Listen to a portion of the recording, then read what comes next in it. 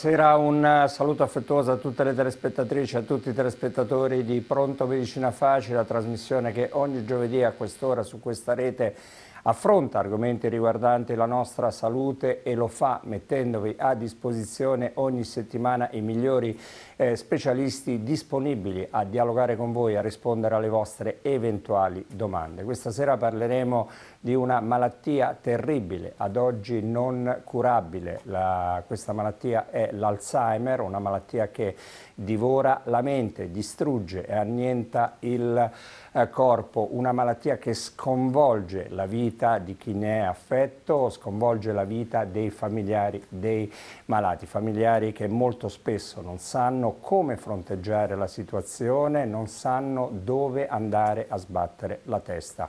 Titolo di questa puntata Pianeta Alzheimer, perché abbiamo titolato così? Perché vogliamo provare a spacchettare la malattia e parlare un po' a, 300, eh, 360 gradi, a tutto tondo, eh, dalla diagnosi che spesso eh, porta, si sviluppa attraverso un percorso lungo e difficile che ha bisogno di tempo, alla terapia, vi ho detto è una malattia non curabile, sul mercato ci sono farmaci che ne rallentano l'evoluzione, dall'assistenza alla ricerca, ci concentreremo soprattutto sulla ricerca per vedere in Italia e nel mondo a che punto siamo sull'Alzheimer.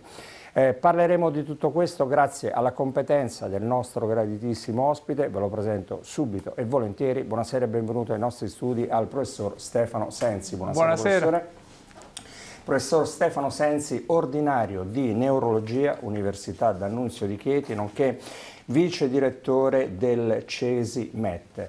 Eh, intanto oh, benvenuto ai nostri studi, è una new entry nella grande famiglia di Medicina Facile e io voglio eh, farlo conoscere un po' meglio ai nostri telespettatori. Intanto le chiedo subito, lei ha avuto come maestro anche un grande padre, il professor Sergio Sensi, che è stato uno dei primi docenti della D'Annunzio, giusto professore? Giusto, giustissimo. E sono molto contento e anzi molto fiero. Clinica medica, ricordo male? Perfetto. Che anni erano, professore? Erano gli anni di esordio di questa università perché lui è stato uno fra i primissimi docenti, è venuto qua nel 72 e ci ha portato poi da Roma qui a pescare a Chieti e da lì è cominciata l'avventura della D'Annunzio di cui io poi sono diventato partecipe e come studente e poi come docente. È stato il primo internista della D'Annunzio?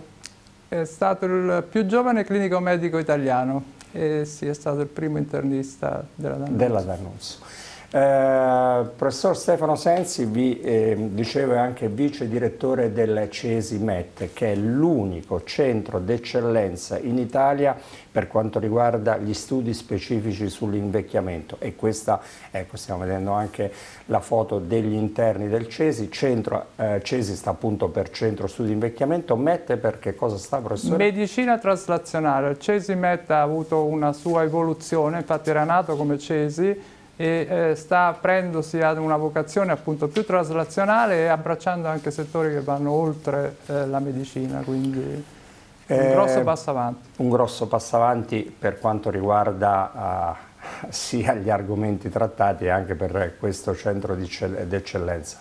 Lei ha lavorato parecchio all'estero, credo che abbia ancora degli incarichi, in America soprattutto, professore? Sì, io ho cominciato mie, i miei primi passi negli Stati Uniti, sono rimasto per lungo tempo negli Stati Uniti e poi appunto nel 2005 sono tornato a Chieti anche grazie al Cesi Met, allora Cesi perché era una struttura e lo è ancora di tutto riguardo, anzi di, eh, francamente io non ho trovato nessuna differenza fra quello che avevo a disposizione all'Università della California e eh, e questa struttura. Dove era in California, professore? University of California, Irvine, vicino a Los Angeles. Una... E mantiene un uh, filo, sì, sì, sì, un abbiamo, contatto Ho mantenuto questi. un appuntamento, si dice in inglese, un appointment. Si, e... offende, si offende se la chiamo un cacciatore di fondi per la ricerca o di ricerca. Lei ne ha eh, drenato, setacciato tantissimi, l'ultimo poche settimane fa 750 mila dollari,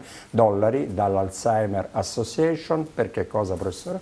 Per una clinical trial che vuole sperimentare una nuova molecola su un sottogruppo di pazienti affetti da demenza di Alzheimer. Siamo a medicina facile, che significa tutto questo? Significa che non è una medicina rivolta a, a tutta la platea di pazienti affetti da Alzheimer, anzi eh, ne seleziona alcuni che hanno una particolare caratteristica, e cioè alcune disomeostosi, o meglio delle deregolazioni del contenuto di rame nel cervello e, e, appunto pazienti che siano in una fase precocissima della malattia. Certo. Tanto per far capire anche ai nostri telespettatori l'importanza e la valenza di questi fondi che è riuscito a portare a casa il professor Sensi, il suo è uno dei 23 giusto? Sì. Centri al mondo, han, al mondo che hanno ottenuto soldi, professore, dalla Alzheimer Association. Siamo stati molto fortunati, devo ammettere. Beh, siete stati anche bravi. Poi, siccome deve riempire qualche altra ora della sua giornata, il professore è anche direttore del centro, mi corregga se sbaglio, di riabilitazione cognitiva per le demenze e per la demenza di Alzheimer. Ho detto bene? È correttissimo. E dove sta questo posto? Nello, San... Prego. a San Valentino in Abruzzo Citeriore in un vecchio ospedale che è stato certo. rimesso a posto. Possiamo vedere le foto e il professore ci dice che cosa fate in questo centro. Questo è un centro che noi cerchiamo e vorremmo sicuramente, eh, di cui vorremmo aumentare appunto la capacità ricettiva che si occupa appunto sia della diagnosi che della terapia. Questi sono i suoi collaboratori? Sì, eh, sono tutti gli studenti che ruotano del corso di terapia occupazionale che appunto lì imparano tutta una serie di attività di sostegno al paziente e familiari uh -huh. e dicevo che appunto la unicità di questo posto è che al di là delle eh, prestazioni solide di, di una qualsiasi uva, cioè della diagnosi e della terapia, c'è una particolare attenzione appunto a tutto il contorno non farmacologico, quindi nello specifico la terapia eh, di stimolazione cognitiva e un'attenzione, mi piace molto eh, ribadirlo, nei confronti dei parenti, perché questa è una parte nascosta della malattia di cui appunto dovremmo sicuramente parlare. I caregiver che donano tutto quanto possono donare ai malati di Alzheimer. Stiamo vedendo Uh, dove viene fatta attività anche fisica, mi sembra sì. di capire da queste foto, la fanno i malati, professore? La fanno i malati e avremmo intenzione che la facessero anche i parenti, perché hanno bisogno di eh, situazioni per decomprimere tutto lo stress che si accumula quando appunto si ha a che fare con malati impegnativi appunto con i malati affetti da Il posto demenza. è meraviglioso, San Valentino Abruzzo Citeriore, aria buona, mezza collina, quasi montagna, si mangia bene, perché è solo un centro di uno. Tra l'altro diciamo che è della ASL di Pescara, perché certo. l'immobile di proprietà della ASL di Pescara, perché è solo un centro di, di, diurno e magari nei programmi futuri potrebbe diventare anche un centro di ricovero? La correggo, non è un centro diurno, anzi sarebbe la nostra intenzione quello di farne un centro diurno. Non è più una struttura con posti letto, era una struttura riabilitativa e, e credo con buon giudizio l'ASL di Pescara ha pensato di eh, spostare eh, la componente riabilitativa nell'ospedale di Popoli anche perché francamente avere delle, dei pazienti problematici eh, politrattati in, insomma, sì, in mezza collina, comunque lontani da presidi ospedalieri completamente funzionanti potrebbe essere un rischio. Quindi io credo che sia stata una giusta decisione. C'è molto spazio, certamente c'è spazio per creare un centro diurno di grosse dimensioni e farne un posto di assoluto richiamo per tutta una serie di pazienti che affluiscono già dalla provincia di Chieti, dalla provincia dell'Aquila e dalla provincia di Pescara. Quanti ore li tenete i pazienti mediamente? I pazienti purtroppo li teniamo parecchio, eh, eh, i pazienti perché, so, eh, perché la valutazione, come poi magari sì, discuteremo, certo. prende tempo e quindi diciamo che va via una mezza giornata. Anche per questo abbiamo cercato di attrezzare una serie di attività eh, collaterali per i parenti che certo. invece che aspettare lì inutilmente fanno qualcosa per capire meglio la malattia, per capire meglio la gestione e per appunto trovare un minimo di supporto anche psicologico. Poi quando il professore, eh, professor Sensi da San Valentino torna a Chieti o a pescare dove vive, trova anche il tempo per andare in barca a vela, soprattutto a pescare in mare perché lei è un velista, giusto? Vero, è una cosa che mi piace molto. È l'hobby del professor Sensi. Professor Stefano Sensi a vostra, a vostra disposizione fino alle 22.30, parleremo con lui di Alzheimer, le vostre telefonate, le vostre mail, anche questa sera devono eh, transitare obbligatoriamente, passare obbligatoriamente attraverso il sorriso della collega Edmondo. Ciao Gigliola. Ciao Paolo, buonasera a tutti. Con Francesco Specchiuli anche questa sera siamo pronti a ricevere, speriamo, tante telefonate. I numeri sono già in sovrimpressione, ma io li ricordo. Intanto il prefisso 0871. I numeri da formulare sono 5873 230 58 73 235 ricordo anche l'indirizzo email che è salute chiocciola rete8.it Grazie Gigliola, buon lavoro dai numeri dei nostri telefoni ai numeri spaventosi dell'incidenza di questa patologia in Italia e nel mondo, numeri da epidemia. Vediamo questa scheda. In Italia ci sono 1.241.000 persone con demenza, il 5-7% della popolazione over 65 anni e circa 900.000 con decadimento cognitivo lieve, 5,9% della popolazione over 60 anni. L'Alzheimer rappresenta circa il 50-60% delle demenze complessive e oggi ne soffrono più di 600.000 persone. Secondo il rapporto mondiale sull'Alzheimer del 2018, ogni tre secondi si registra un caso di demenza sul nostro pianeta, dove quasi 47 milioni di persone sono affette da una forma di demenza, oltre la metà delle quali viene colpita dal morbo di Alzheimer. Questa cifra è destinata quasi a raddoppiare ogni 20 anni fino a raggiungere 74,7 milioni di persone nel 2030 e 131,5 milioni nel 2050. Sono quasi 10 milioni i nuovi casi di demenza ogni anno e di questi la metà sarà malata di Alzheimer. Inoltre, il rapporto mostra che gli attuali costi economici e sociali della demenza ammontano a 818 miliardi di dollari e ci si aspetta che raggiungano 1000 miliardi di dollari in soli tre anni i costi globali della demenza sono cresciuti del 35% rispetto a quanto calcolato nel 2010. Questo significa che se l'assistenza per la demenza fosse una nazione sarebbe la diciottesima economia del mondo e il suo valore economico supererebbe quello di aziende come Apple con 742 miliardi di dollari e Google con 368 miliardi di dollari. Questo è il biglietto da visita di questa puntata di Pronto Medicina Facile, la scheda come sempre elaborata dalla nostra Gigliola Edmonda, avete visto e sentito numeri spaventosi, le chiedo professore intanto morbo o malattia di Alzheimer? Corretto chiamarla come? Io direi malattia perché appunto eh, racchiude tutta una serie di un corteo sindromico che meglio si inquadrano dentro Malattia. la malattia. Possiamo già parlare di epidemia di questa malattia? Allora, sì, i numeri sono perfetti, è stata fatta una scheda perfetta ed accurata. Eh, I numeri sono, sì, da paura, è vero, eh, c'è una potenziale epidemia. Io mi permetto di accendere un velato, un cauto ottimismo. Diciamo che siamo arrivati in un punto in cui dobbiamo assolutamente raggiungere degli obiettivi. Forse per molto tempo eh, ci siamo un po', non dico trastullati, ma certamente appunto abbiamo sottovalutato l'impatto di questa eh, patologia. Eh, ci sono numeri stringenti di carattere socio-economico eh, che ci impongono di dare una svolta. Ci sono state delle analisi eh, di appunto, economia sanitaria che dimostrano che se non, riusciamo, non riuscissimo a invertire la rotta, entro il 2050 saremo in gravissima default, condizione di grave problema per la maggior Nella parte dei sistemi sanitari del primo mondo. Eh, Gigliola ce ne ha dato un'anticipazione con proiezioni eh, molto negative su questo, ma perché una persona si ammala d'Alzheimer, professore?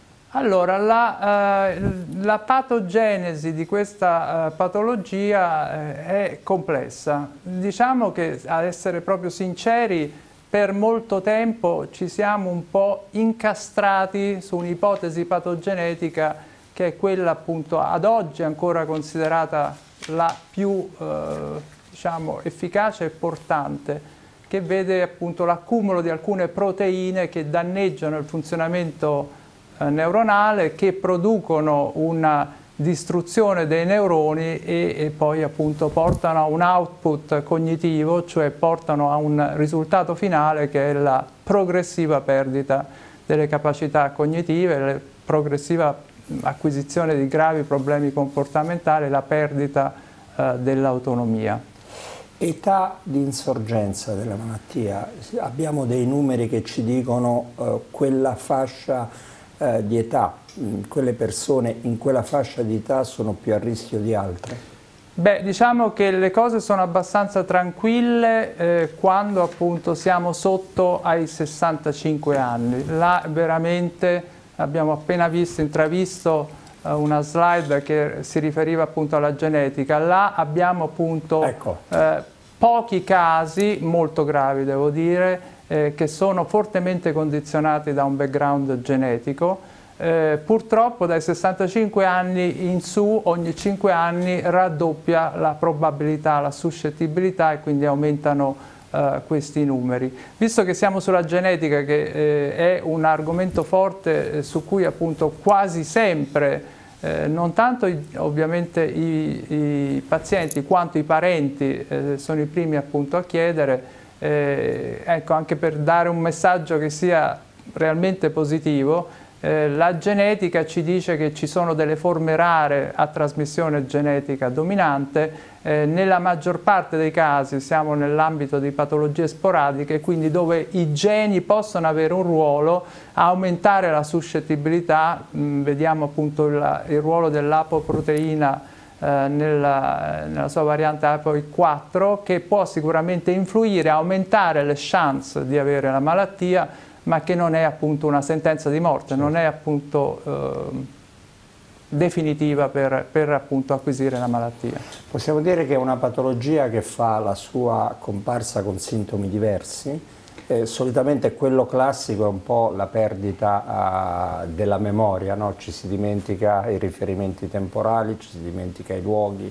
Sì, esattamente. Ci sono dei sintomi che sono un po' uh, campanello d'allarme. Eh, la sintomatologia di questa uh, patologia è certamente centrata sul disturbo di memoria, quindi c'è un deficit di ritenzione dell'informazione a breve termine, ma nella fase conclamata. Si parte con delle smemoratezze, eh, non si riesce a ricordare dove si è messo un oggetto di uso comune, le chiavi la, la, la, la cosa più, più frequente. Ci sono però altri problemi che possono insorgere in parallelo addirittura prima ancora del, del problema di memoria. Eh, sicuramente ci sono problemi attentivi, ci sono problemi nel linguaggio, è molto comune che insieme al disturbo appunto di memoria ci sia anche una certa certo. difficoltà nel trovare la parola. I pazienti riferiscono di avere la, come dicono, la parola sulla punta della lingua ma non riescono appunto a, a poi portare a termine. Hanno benissimo in testa che cosa vogliono dire ma non riescono a dirlo. Ma la persona si sta già accorgendo di che cosa gli sta succedendo, a che cosa va incontro, anche perché insomma di Alzheimer ormai se ne parla da tantissimi anni e quindi una persona sana potrebbe cominciare ad avere il sospetto che... Sì, assolutamente. Purtroppo è la fase forse più critica della malattia. Eh, io penso che sia proprio la fase iniziale quella dove il paziente soffre di più. Banalmente nelle fasi più avanzate, proprio il fatto di non avere più un grosso stato di coscienza, un, un fondamentale stato di coscienza eh, rende questi pazienti molto simili a dei bambini. Nella fase iniziale, quando appunto la persona incomincia a vedere e a notare eh, delle defianze, chiaramente è eh, sgomenta rispetto appunto al progredire di questi problemi. Lei ci ha detto che tra uh, i segni inequivocabili, inequivoc inequivocabili di questo inizio di malattia c'è appunto il cominciare a non saper parlare, ad avere difficoltà a parlare. Poi c'è la confusione, poi ci sono anche gesti usuali, quotidiani, i più facili che si comincia eh, a non fare più bene come si faceva una volta. Eh, c'è anche, non so, lo scrivere, il perdersi, il uh, immalinconirsi, cioè nel senso cominciare a, comincia a subentrare anche un po' di eh, depressione Bravissimo. ammesso che ci sia. Assolutamente sì, infatti come, come abbiamo visto nella slide precedente eh, c'è una componente cognitiva ma non è da sottovalutare anche la componente comportamentale e si entra in un'area grigia eh, della depressione eh, barra apatia eh, dove appunto è difficile all'inizio capire se il paziente, come spesso succede, perché sono persone che hanno magari 70 anni, certo. 75 anni, sono appena entrati in una fase diversa della vita perché hanno abbandonato spesso il mondo del lavoro, quindi sono, sono spaesati rispetto appunto alla nuova avventura della parte terminale della loro vita e appunto manifestano una fisiologica depressione. Purtroppo quella depressione ha connotati leggermente diversi che si colora più della mancanza di iniziativa, la totale mancanza di voglia di fare le cose, l'apatia e questo è sicuramente uno degli altri campanelli d'allarme che frequentemente noi, eh, noi, riportiamo e sentiamo. Hanno anche problemi alla vista in questa fase, professore? Eh, no vista, no? Eh, hanno però così un po' di difficoltà a scrivere, sono un po' eh, magari anche persone che prima erano molto precise nell'appuntarsi tutto cominciano a dimenticarsi anche di prendere appunti. Assolutamente, ci sono dei problemi attentivi. Nella fase però in cui eh, diciamo, la malattia progredisce, eh, questi, questi, disturbi diventano veramente eh, preponderanti. Quindi in questa prima fase iniziale i disturbi che noi chiamiamo con termine tecnico prastici, cioè del saper fare, di trasdurre un comando eh, della corteccia in un, in un gesto, eh, non sono ancora compromessi. Purtroppo appunto con l'avanzare della malattia anche anche la capacità di fare appunto eh, gesti semplici come appunto abbottonarsi certo. eh, la camicia oppure vestirsi possono diventare problematici. Comincia a diventare sempre più uh, marcata questa confusione, questa difficoltà ad avere riferimenti temporali, presente, passato, programmare il futuro? Assolutamente sì. Questa è una fase avanzata eh, dove appunto se abbiamo la progressione della malattia incominciamo ad avere disorientamento temporale, il paziente non riesce più a capire bene in che parte, eh, in che stagione si trovi, in che parte del giorno sia, eh, in che anno sia, e A incomincia ad avere difficoltà anche a orientarsi in termini spaziali, banalmente eh, incomincia ad avere delle difficoltà soprattutto serotine quando appunto l'imbrunire acuisce questo tipo di problemi a trovare delle stanze, le stanze di casa, andare in bagno, a trovare la cucina, entrare in un salotto. Quanto dura questa fase? Questa fase dura potenzialmente dai due ai tre anni, può anche essere appunto, e poi magari ne parleremo, certo. procrastinata, può essere allungata. Grazie ai farmaci. Anche grazie, grazie ai farmaci, sì. Eh, cosa succede, e torniamo a parlare un po' del risvolto scientifico, cosa succede nel cervello di un malato di Alzheimer in questa fase? Nel cervello di queste persone purtroppo c'è una irreversibile perdita di neuroni. I neuroni sono le cellule eh, che permettono il funzionamento del nostro cervello, del nostro sistema nervoso e eh, che sono, ahimè, le uniche cellule del nostro corpo che eh, sono, non possono duplicarsi, non possono replicarsi, quindi noi nasciamo e cresciamo con gli stessi neuroni, meglio, nasciamo con una dotazione di neuroni e progressivamente li perdiamo, però ci accompagnano, buona parte di questi neuroni ci accompagnano durante tutto l'arco di vita e eh, nell'invecchiamento fisiologico ne perdiamo una quantità appunto tutto sommato non elevata e invece in queste patologie degenerative, nell'Alzheimer e nelle demenze in generale abbiamo una drastica riduzione di, questi, di queste cellule che non sono più sostituibili.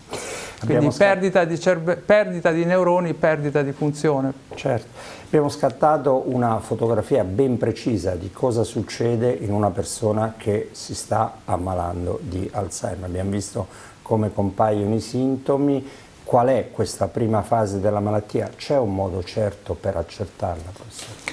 Allora, sì, la diagnosi richiede appunto una serie di attente valutazioni, prima di tutto cliniche, una ottima appunto valutazione del paziente. Questa è una fase importante, non si può, e ne parleremo più tardi, non si può bypassare questa fase, quindi una valutazione clinica è fondamentale. Una valutazione neuropsicologica è altresì fondamentale, una dettagliata analisi di quelli che sono i domini cognitivi o delle aree comportamentali che sono compromesse e a questo punto diciamo che possiamo spesso fermarci, possiamo incominciare ad avere un sospetto che è supportato eh, da esame obiettivo e da testistica neuropsicologica per porre il sospetto di demenza.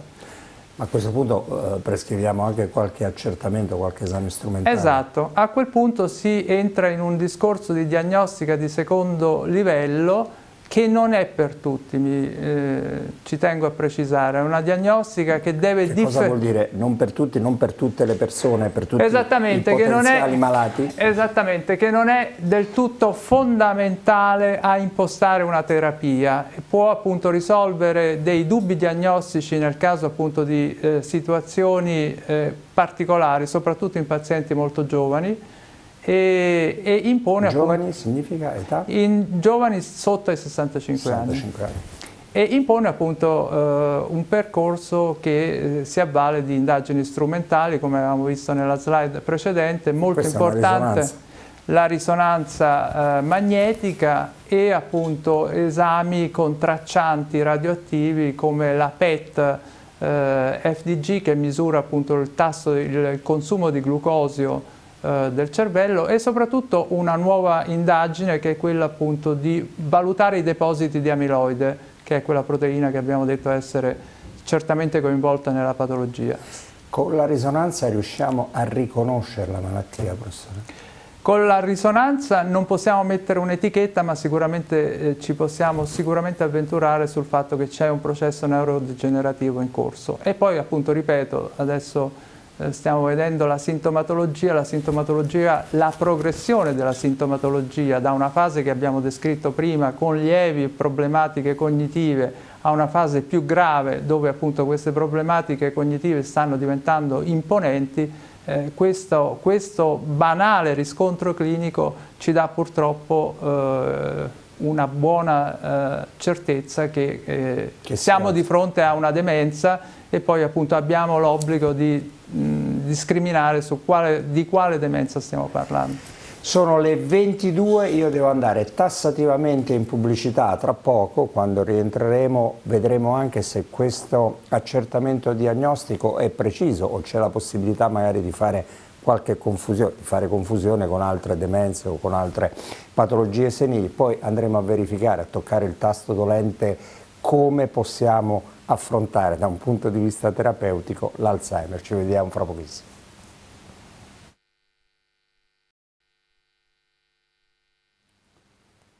Rieccoci di nuovo in diretta da studio per la seconda, naturalmente ultima parte di questa puntata di Pronto Medicina Facile con il nostro ospite, il professor Stefano Sensi, ordinario di Neurologia, Università Gabriele D'Annunzio di Pescara, nonché vice eh, direttore del CESI MET. Stiamo parlando di Alzheimer, eravamo fermi eh, nella prima parte della trasmissione sull'accertamento diagnostico di questa malattia terribile. Prima di andare avanti con le domande che ho preparato per il professore, vado in redazione da Gigliola perché è arrivata una mail. Gigliola.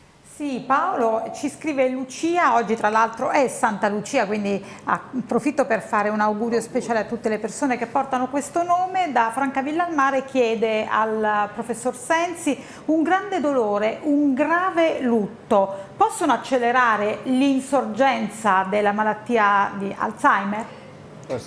Sì, Sicuramente sì, però devono trovare un terreno fertile, cioè devono trovare un cervello che purtroppo è stato indebolito da tutta una serie di agenti che hanno reso possibile appunto questo evento, eh, diciamo così, la goccia che fa traboccare il vaso, ma certamente sì e non è infrequente trovarlo, soprattutto per la depressione che si associa a questi eventi. Certo.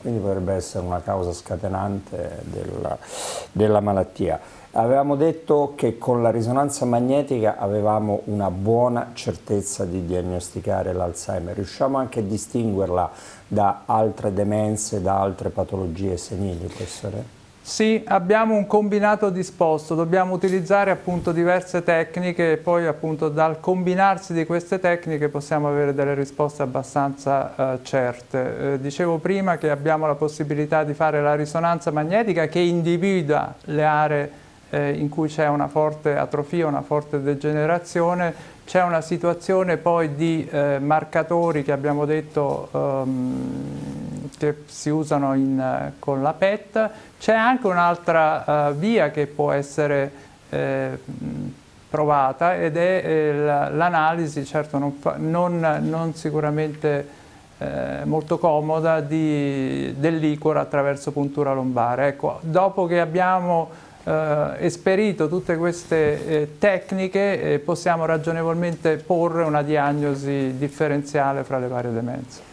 Abbiamo anche delle altre diapositive che abbiamo preparato per i nostri telespettatori, riusciamo anche a così stilare una, eh, come posso dire, un'aspettativa di vita dalla diagnosi certa, professore? Dipende appunto dalla patologia eh, e infatti abbiamo delle forme che sono certamente molto più veloci, non necessariamente la malattia di Alzheimer, delle forme eh, più lente come le forme cosiddette vascolari e nella demenza di Alzheimer l'aspettativa di vita è fra i 7 e gli 8 anni. 7-8 anni. Eh, si sviluppa in maniera diversa no? Eh, a seconda del, eh, della persona del paziente, come avvengono le varie fasi del declino cognitivo, professore? No, diciamo che il, il, percorso di questa patologia è abbastanza, eh, certamente ci possono essere delle peculiarità perché a seconda di dove l'atrofia si eh, localizzi possiamo avere delle declinazioni personali, questo è indubbio, anche in base alla, alla personalità coante della, della persona però diciamo che c'è un percorso abbastanza uh, standardizzato. Abbiamo visto delle diapositive che magari possiamo rimettere sì. e, e nell'ambito uh, delle, delle, forme appunto di cui uh, abbiamo assoluta necessità di distinguere se siamo appunto nell'ambito di un Alzheimer o di altro tipo di demenza, dobbiamo ricordare, è, è fondamentale ricordarlo anche stasera, eh, che ci sono delle forme reversibili, cioè abbiamo delle forme in cui c'è un declino che è legato a fattori soprattutto di carattere internistico, quindi mettiamo un fegato che non funzioni bene, un rene che non funzioni bene, situazioni di eh, grave anemia, situazioni che sono legate a, a disturbi ormonali, la, uh, la tiroide in primis, eh, dove abbiamo degli importanti effetti cognitivi che però per fortuna rientrano o comunque si stabilizzano allo stabilizzarsi di queste eh, condizioni internistiche. Abbiamo un grosso, una grossa fetta di eh, demenze che sono appunto le cosiddette demenze vascolari. Queste Anche, che stiamo vedendo. Esattamente, questo è un altro troncone molto importante e forse anche eh, sottovalutato nella diagnostica corrente eh, e invece appunto probabilmente quello prioritario soprattutto nel, nei grandi anziani. Superati gli 80-85 anni è probabile che le, la maggior parte delle demenze siano proprio di origine vascolare o comunque mista. Vascolare vuol dire che c'è un, un uh, sottofondo di insulti o microinsulti di natura cerebrovascolare, quindi l'accumularsi di TIA, l'accumularsi eh, di microemorragie, l'accumularsi di ictus che hanno appunto minato il tessuto cerebrale e lì appunto possiamo avere un'evoluzione verso la demenza, che è più lenta, devo dire, rispetto alle forme alzheimeriane. In percentuale queste demenze reversibili, questi Alzheimer, tra virgolette, reversibili rispetto all'Alzheimer vero, chiamiamolo eh, così? purtroppo sono percentuali modeste, dobbiamo essere sinceri. Eh, si perde prima la cognizione o la motilità? No, si perde decisamente prima la cognizione, però è passata rapidamente una slide che se riusciamo a recuperare mi fa piacere commentare, eh, dove si parla Proviamo di una... a tornare indietro, vediamo Dove c'è scritto MCI o MCI sì. e sostanzialmente questa è una condizione molto interessante perché è una condizione in cui abbiamo una uh, situazione di prime avvisaglie, soprattutto appunto sempre con i disturbi di questa, memoria, esattamente. Questa ed è una fase dove molti stanno puntando eh, l'attenzione in, in, in un'ottica appunto di intervento perché è appunto una condizione in cui eh, sostanzialmente per la maggior parte dei soggetti queste smemoratezze che possiamo anche definire benigne rimangono tali uh mm-hmm. -huh in un 20% invece progrediscono verso la demenza ed è lì che la ricerca si sta eh, diciamo, concentrando perché noi pensiamo, molti pensano che appunto sia il momento in cui si può ancora cambiare la partita. Allora, cioè, proviamo a, a sintetizzare le fasi. Perdita delle capacità cognitive, poi pian piano si perde la motilità, c'è questo irrigidimento del corpo dovuto anche ai farmaci che vengono assunti dal paziente? Assolutamente, perché dobbiamo ricordare ed è importante sottolineare che c'è un'area cognitiva ma c'è un'area importantissima comportamentale che poi è l'area che pone i più grossi problemi gestionali alla famiglia. Queste persone con l'evoluzione della malattia diventano dementi per quello che sappiamo, no? i dementi eh. sono delle persone tra virgolette matte che creano problemi di carattere comportamentale, quindi hanno allucinazioni, hanno problematiche di aggressività, di comportamenti impropri.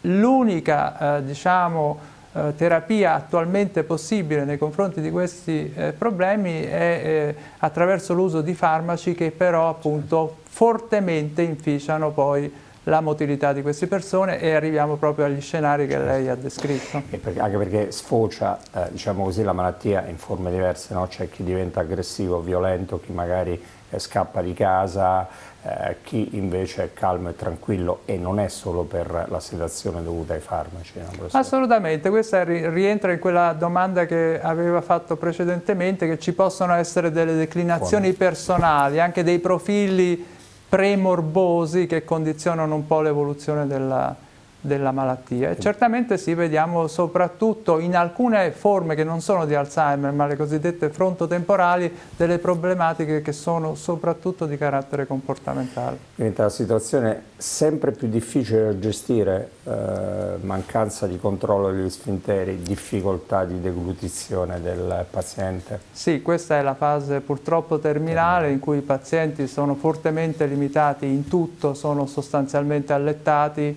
eh, sono incontinenti e, e, appunto vanno incontro a tutte le problematiche certo. delle persone allettate, quindi eh, le inevitabili infezioni che portano poi all'exitus. La domanda madre è l'Alzheimer è curabile? Ci arriveremo mai a curarlo l'Alzheimer?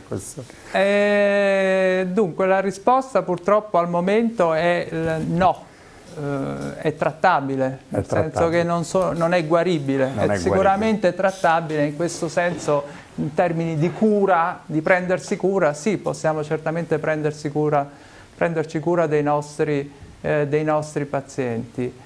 Eh, la terapia al momento è una terapia sintomatica, eh, ci sono delle molecole, poche veramente, che eh, abbiamo nel nostro armamentario, eh, ce n'è qualcuna che forse ha qualche minimo effetto di neuroprotezione ma molto sfumato, quindi potrebbe rallentare il decorso della malattia.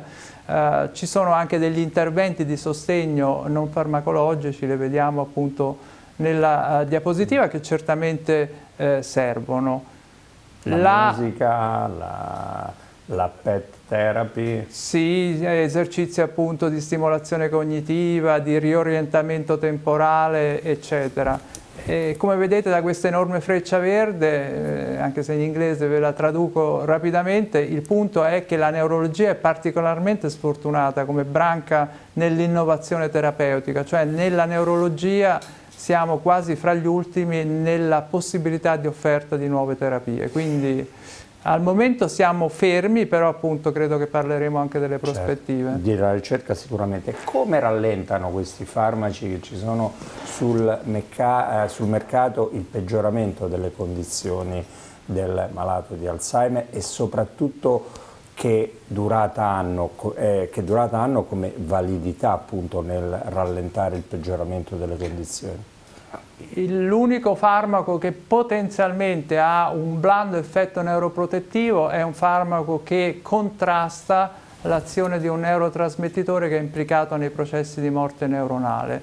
Eh, questo farmaco funziona, ri, ripeto, in maniera abbastanza blanda e può tenere un po' la situazione purtroppo solo nelle fasi eh, iniziali o appunto moderate della patologia, quando poi eh, la patologia prog progredisce c'è un andamento tumultuoso, un effetto appunto eh, di palla di neve e quindi certo. le cose poi precipitano. Lasso di tempo? Due anni? Tre anni? Sì, due o tre anni. Due o tre anni. Eh, abbiamo visto che ci sono terapie non farmacologiche che potrebbero essere utili, la migliore qual è? La migliore non c'è, devo essere sicuro, no, sarebbe sbagliato. Guardi, abbiamo sbagliato moltissimo eh, nel cercare un'unica terapia farmacologica, faremmo un doppio errore a identificare un eh, intervento eh, non farmacologico d'elezione. Non ce ne sono, direi che invece è molto importante un concerto di eh, di interventi e, eh, i più svariati e que sono quelli che abbiamo più o meno elencato precedentemente. Adesso le chiedo di tirar fuori la sua anima di ricercatore, di sfoderare tutta la grinta che hanno i ricercatori che non sono più visti come quelle persone tristi che sono chiuse nei loro laboratori eh, a lavorare, lavorare, lavorare e sperare di eh, riuscire a tirar fuori elementi utili per eh, i miglioramenti della scienza, a che punto siamo, a che punto è la ricerca proprio nel cercare un qualche cosa, eh, ricercare un qualche cosa che possa mettere quest'argine alla diffusione della patologia, professore? Allora la parola è proprio giusta, la parola è perfetta, ricercare. Eh, ho già accennato prima che ci siamo molto, diciamo, focalizzati sul, sul, ruolo di una proteina, di un paio di proteine eh, nella, nella, patogenesi della malattia. La maggior parte degli sforzi terapeutici sono stati indirizzati a questa eh, proteina, l'amiloide. Sappiamo ora eh, che eh, c'è sicuramente un coacervo di agenti che lavorano sinergisticamente. Questo questa slide mostra un risultato direi sorprendente, in questo caso mi permetta di fare appunto ricercatore e di spiegare Deve per un minuto la, il, dettaglio, di il, dettaglio, di questa, questa slide. Questa è la ricerca che l'ha fruttato tutti quei dollaroni dall'America. No, magari, questa non è del nostro laboratorio, mi sarebbe molto piaciuto farlo, ma non è nostro. Eh. E allora il punto fondamentale è che in questo caso abbiamo uno studio incredibilmente accurato, ci sono persone che sono state valutate eh, sia da un punto di vista neuropsicologico nella loro evoluzione, sia da un punto di vista purtroppo autoptico, perché sono tutte appunto poi deceduti, decedute per eh, problemi di demenza eh, per un lasso di tempo che arriva ai 22 anni. Sono un migliaio di persone e al reperto autoptico eh, gli anatomopatologi hanno cercato eh, delle risposte in termini appunto di quelle che erano le patologie prevalenti. E la sorpresa sono andati a vedere ovviamente i markers classici, l'accumulo la, di mh, proteina amiloidea, i problemi legati alla tau, ma anche tutta una serie di altri eh, attori. E la scoperta fondamentale è che in tutte le forme non c'era una sola unica patologia presente. Nella maggior parte dei casi avevamo situazioni in cui i, i soggetti presentavano almeno due o tre, quattro markers di patologia, che ci dimostra che ci sono processi che convergono per produrre appunto l'effetto purtroppo indesiderato della demenza. Sbagliato è eh, sbagliato è, e questo è stato un grave errore fino adesso, eh, cercare la pallottola magica, si dice, che appunto... Pallottola in, magica. Sì, la pallottola magica che miracolosamente becca il... Questo il, è il gergo di voi ricercatori, la sì. pallottola magica e, e appunto la, la, la terapia eh, unica che può appunto eh, abrogare, abolire, abortire tutti i processi. La nuova visione che più o meno la comunità scientifica ha abbracciato è quella di una situazione di sinergia, di un problema sostanziale, purtroppo questo sicuramente irreversibile, che è data dalla disponibilità del cervello anziano, la disponibilità, la permissibilità. Qua che del... cosa stiamo vedendo, professore? Qua stiamo vedendo un bruttissimo uh, grafico, mi pento di avervelo uh, suggerito, però in linea di massima, però sì, almeno graficamente rende la, compless la, complessità della problematica, cioè in altre parole rispetto alla situazione del age, cioè aging, invecchiamento, ci sono una miriade di frecce che convergono a produrre il danno e lì dobbiamo intervenire, lì dobbiamo cominciare a capire che non c'è la possibilità di agire selettivamente su un agente pensando di ignorare eh, tutto il resto. Deve esserci una, una sinergia certo. anche certo. di approcci terapeutici. Ci dovrebbero essere altre due diapositive. Questa? Sì, questa, è, diciamo, uh, questa si avvicina di più alle, alle, tematiche per cui ogni tanto ci danno dei, dei soldini, per fortuna, ed è appunto un, un fronte eh, molto caldo e molto promettente. Eh, l'insulina, come tutti sappiamo, è un ormone che regola eh, i livelli di glucosio nel sangue, fondamentale nella nella, nella diabete come appunto disregolazione, uh -huh. ma eh, sorpresa eh, anche a livello cerebrale un potente attore del funzionamento dei neuroni, cioè non è semplicemente un controllo, un, un, un regolatore del metabolismo, quindi del, della quantità di glucosio che entra nel, eh, entra nel cervello, viene utilizzata dal cervello, ma è un fattore neurotrofico. Quindi che cosa vuol dire? È un fattore che protegge i neuroni e questo ci dà qualche eh, diciamo, possibilità perché appunto eh, prima quasi per serendipiti, cioè casualmente, adesso con molto solide evidenze, sappiamo che alcuni farmaci che vengono utilizzati nella terapia del diabete eh, possono eh, avere un forte effetto di neuroprotezione, quindi potenzialmente potrebbero essere veramente certo. una nuova frontiera.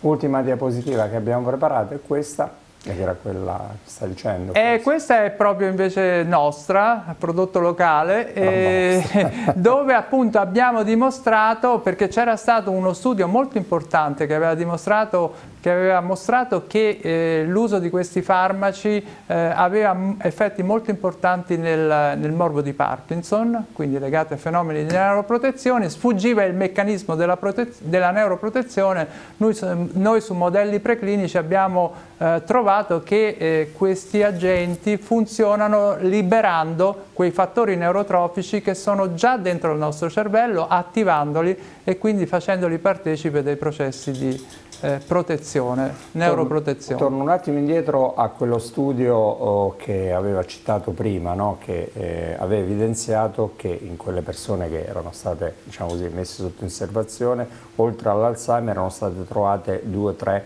patologie presenti, appunto, quali le più diffuse, professore? Beh, è questo, è questo è il punto. Eh, no, esatto, è proprio questo. Hanno visto che sostanzialmente se facevano un gioco di combinazione dei pesi relativi delle varie patologie uscivano potenzialmente 237 nuove malattie. Quindi ci sono dei, dei pesi tutti individuali e non c'è un determinante preponderante, cioè i depositi amiloidei sicuramente erano presenti, ma così erano presenti le problematiche vascolari e così appunto eh, la presenza di altre proteine che sono potenzialmente neurotossiche. Un'altra domanda madre che le faccio, e ci avviamo quasi alla conclusione, è un po' come quella se è curabile, guaribile l'Alzheimer. Si può fare prevenzione per l'Alzheimer, professore? Non solo si può fare ma si deve fare. eh, questo è un filone eh, molto produttivo di ricerca e di intervento. Eh, molto abbiamo fatto nella diagnosi precoce, ci sono appunto gli strumenti ora per capire se ci sono dei processi neurodegenerativi in corso prima che sia troppo tardi e quella è la finestra temporale, come accennavamo prima, eh, nella quale dobbiamo eh, intervenire.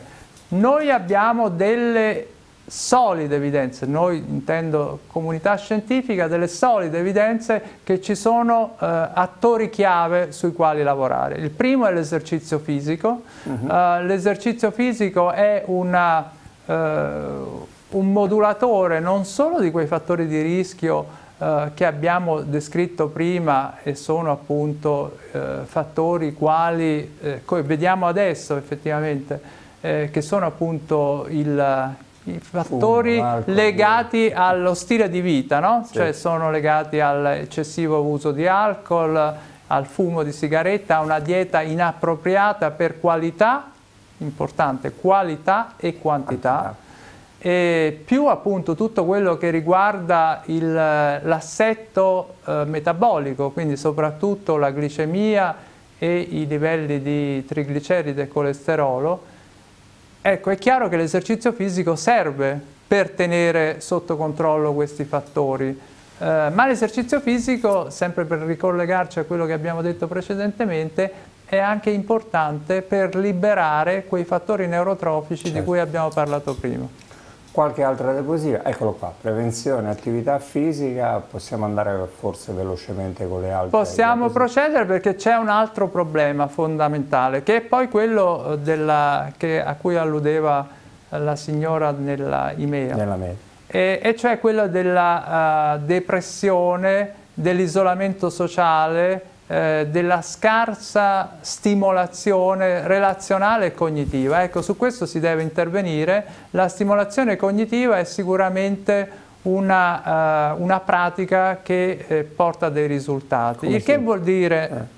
Che vuol dire? Eh, vuol dire in termini banali di mantenere il cervello attivo con gli strumenti più vari e più gradevoli per la persona perché non deve essere visto ovviamente come come un qualche cosa di eh, non piacevole, per cui appunto cioè, raramente... Leggere, scrivere, fare le parole crociate, fare la parola crociate, leggere e adesso che entriamo poi in una fase in cui molte persone, molti anziani saranno fortemente digitalizzati, anche eh, fare uso di quella che è l'offerta eh, che viene dal, dal, mondo digitale, per esempio i videogiochi, quella, quella, copertina che abbiamo visto di Nature alludeva la proprio... possiamo far rivedere. Alludeva al fatto che eh, utilizzando dei banalissimi videogiochi in soggetti che per ragioni di età incominciavano ad avere problemi di multitasking, eh, l'esercizio appunto con eh, la simulazione con questi, eh, con questi giochini eh, ripristinava queste capacità e ci sono molte evidenze sperimentali che dimostrano appunto anche oltre questo specifico eh, dominio che la stimolazione cognitiva eh, eseguita con appunto le tecniche più svariate serve. Mi piace ricordare che la stimolazione cognitiva può essere anche banalissima e stimolazione cognitiva è anche giocare a carte, cosa che i nostri anziani fanno. Eh, giocare a carte, oltre che avere l'indubbio effetto di aumentare, diciamo così, eh, arricchire da un punto di vista relazionale eh, il soggetto, funziona anche molto perché il banale tenere a mente i colori delle carte, i semi, eh, fare le operazioni matematiche che sottendono appunto alla possibilità di vincere è un, di per sé un ottimo stimolo cognitivo. Quindi è possiamo... facile tenere un diario, compilare la lista della spesa, fare due parole crociate facilitate. Assolutamente. 30 secondi per il capitolo che avrebbe bisogno di una, scusate, una puntata a parte, l'assistenza a un malato di Alzheimer.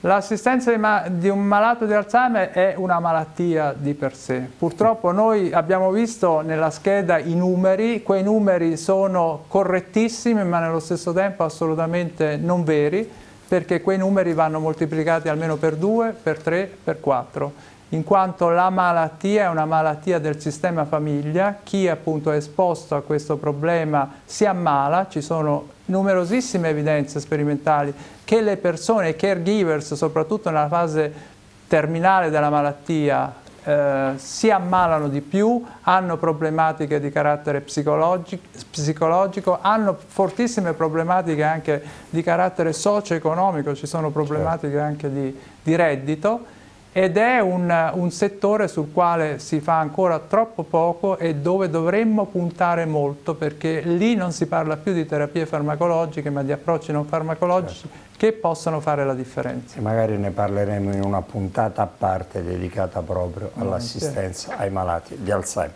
Grazie al professor Stefano Sensi, ordinario di neurologia Università d'Annunzio, vice direttore del CESMET, grazie per essere stato con noi professore, grazie a tutte le persone che hanno lavorato a questa trasmissione, ciao Gigliola. Ciao Paolo, un saluto anche da Francesco Specchiulli, ci vedremo giovedì prossimo.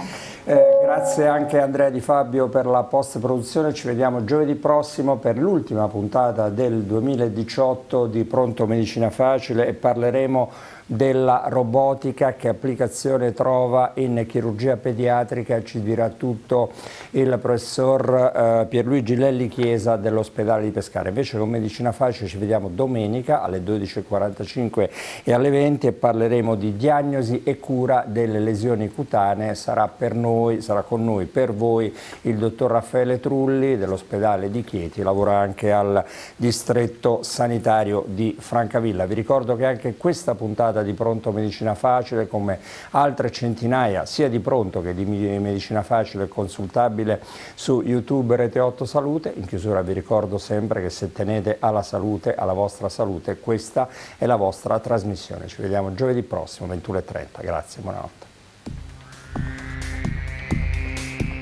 Namaste.